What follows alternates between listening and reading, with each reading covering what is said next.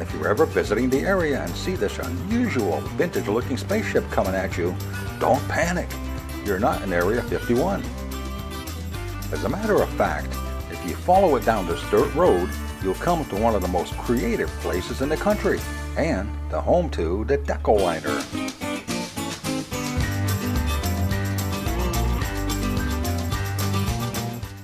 The person behind this original creation is Randy Grubb, a normal looking person, but underneath that normality lies a very imaginative, creative mind with the skills and talents to bring his ideas to fruition.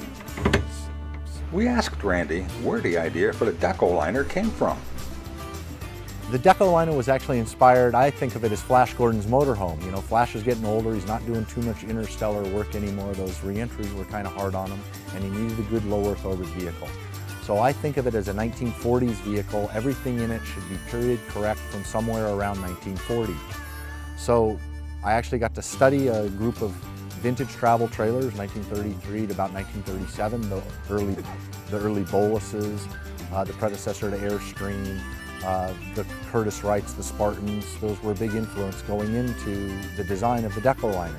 The front end was a unique piece that came into the sculpture um, and it really spoke to me that this was the right front end for the Decoliner. If that front end looks somewhat familiar, well, you're somewhat dating yourself.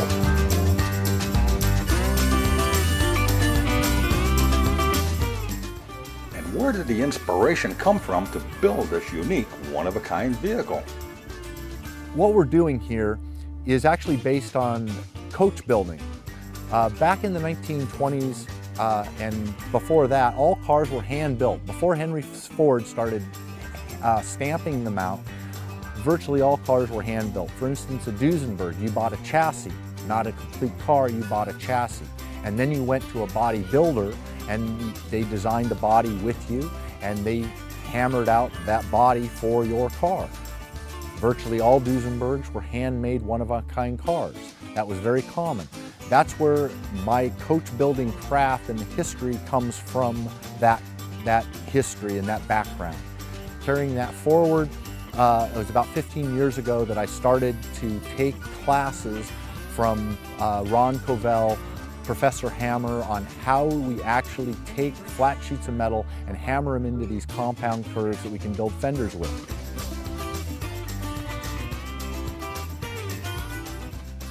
I have a long history in car building that, that stretches back to actually when my dad brought home a Model A when I was eight years old. And he taught me to weld when I was about 10 years old. And I actually started to build my first car when I was about 12 years old.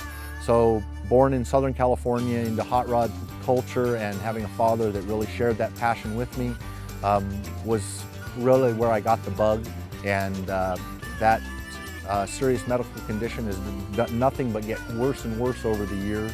And where we are today is um, I don't want to cut up an old car. I want to start with a clean sheet of paper and actually hammer all the components out from scratch. It's incredibly time consuming. Something like the Decoliner represents almost 5,000 hours of labor out of these hands.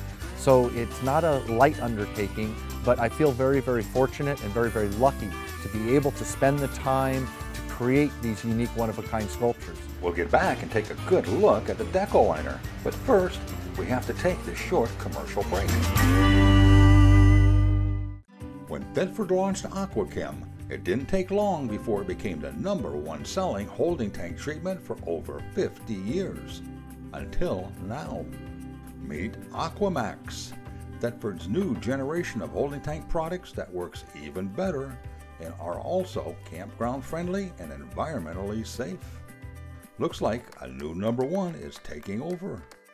For more information, visit Thetford.com. Want more RVing today? Then visit RVingToday.tv. Besides our weekly show and extended segments, you'll find additional stories and videos along with insightful information on what's new and what's happening around the world in RVing.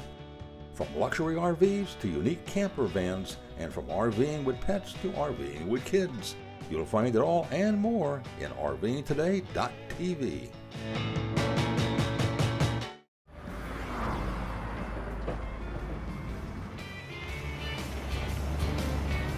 Welcome back.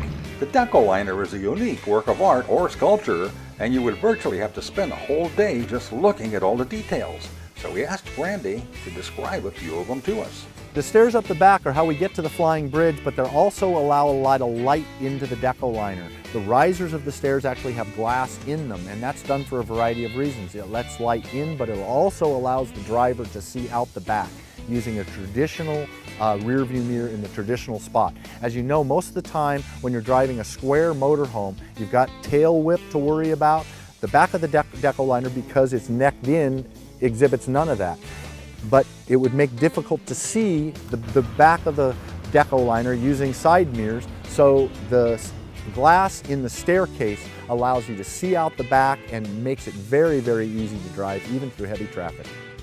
Now for the best part, let's take a look at the inside of the Decoliner. So the whole Decoliner is cut from, the structure is cut from three quarter inch solid plate aluminum. These were water jetted and then hand routered and a lot of finessing to get this nice finish. Um, they be, the, the holes are there to get to the back side of the rivet. These are actually the bucking access to buck those rivets through. So they're functional and designed in one. All right, so here we are in the front of the Decoliner where we have a nice little seating area. This is actually a vintage table that's color coordinated with the interior. This is our kind of our little entertainment center up here. We've got vintage 52 Pontiac speaker grills in a 1953 Oldsmobile dashboard that's been turned upside down. This little metal cover hides the Pioneer stereo. And in the lower part of the front seating, we've got our heat and air conditioning center right here with all the controls and the vents. We are in the back of the Decoliner and there's a couple really neat things about it. You can see the glass risers in the stairs, which really allow great vision out and look at all the light it lets in. It's really great. I'm sitting on a futon. The futon is set up as a couch right now, but it folds backwards into a bed, which gives you over seven foot of bed length. Underneath the futon is a large storage area. In front of that, uh, we've got our little kitchenette area with our cabinet, which features uh, a little wine rack and a little stove is in that box and just enough storage, just, uh, you know, for the essentials, things like your shaker. And then over here we've got your ice chest, vintage ice chest, the real deal. The ice chest was a vintage piece and it had this great deep stamp profile front that was so great that I actually cut the back panel off of it and that became the door for the cabinet over here. This is actually the back panel off the ice chest. So here we are in the downstairs driving compartment in the Decoliner. It's set up just as any normal motorhome would be. Steering wheel, brakes, everything just like normal. But what's unique about the Decoliner is on a nice day, hey, all you gotta do is pop the steering wheel off, reach above your head where the steering shaft has been stored, slide the steering shaft connection on. Now we're mechanically coupled up to the upper, upper stair. We put our safety locking pin in now it's absolutely safe. There's no way for this coupling to come undone. The only other whiz-bang safety item that we have is the electronic shifter. This is a master shift. This is where the shifter is located behind this panel and it's electronic shifting keypad. You push the button, it goes into gear. Once it's in gear, there's no way for it to go into neutral park or reverse without having your foot on the brake. So it's a safety feature. All of this is upstairs. The shifter, the brake, the gas, and you take your steering wheel up and we can drive it from the roof. All right, so our staircase just folds down. Now we walk on up the stairs.